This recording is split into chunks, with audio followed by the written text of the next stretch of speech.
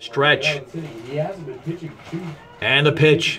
Swung on and driven into the left center field gap. That's going to go all the way towards the fence. Now it's going to be cut off over there, but it will allow Ryan Fergus to score into second as Petterson. And he's got a two out double as the ball gets loose in the infield. And Brush has tallied four runs in the fifth inning. And they now lead by a score of four to one.